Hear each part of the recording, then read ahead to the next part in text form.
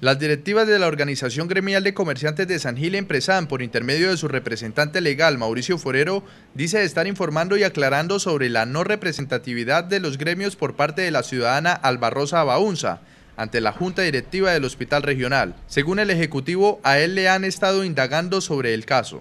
A raíz de tantas llamadas de tantos empresarios con decirnos que eh, Albarrosa no estaba legalmente eh, posesionada y todo esto, yo hice una carta, me dirigí hacia la Secretaría de Salud, donde me dan la respuesta que efectivamente hay ciertas eh, eh, anomalías dentro de la posesión de ella, tanto elección como posesión.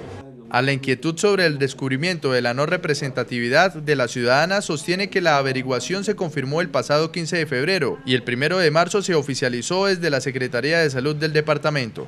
Lo que me dice el secretario de Salud es que el poder estaba para una reunión exacta el 23 de septiembre. Ese día hicieron la reunión, no hubo quórum, hicieron acta y cerraron acta. Ese poder ya no es válido. ¿sí? Las otras reuniones la hicieron días posteriores y el día que eligieron al representante de la Junta fue el 26 de octubre, o sea, ella ya no tenía poder para esa reunión. Forero Sarmiento dice haber actuado de buena fe. La verdad es que eh, en, eso yo caí como ingenuo de la situación porque yo no sabía nada al respecto. ¿sí? Es más, la equivocación puede ser de parte mía, de parte de la Cámara de Comercio y de parte del hospital.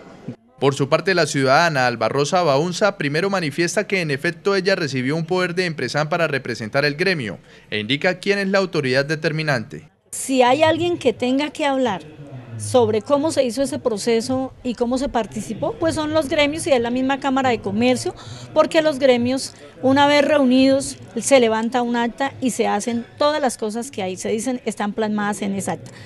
Abaunza Mateus considera como un hecho sin precedentes y delicado en tomar vocerías a nombre de un colectivo, como es el caso del presidente de Empresan es muy, muy delicado para una gremiación que promueve los valores, que promueve muchas fortalezas del comercio y que en este momento el presidente se haga pasar por todos los integrantes de la Junta y hablando cosas que no realmente no son, que le faltan a la lealtad y le faltan a la verdad.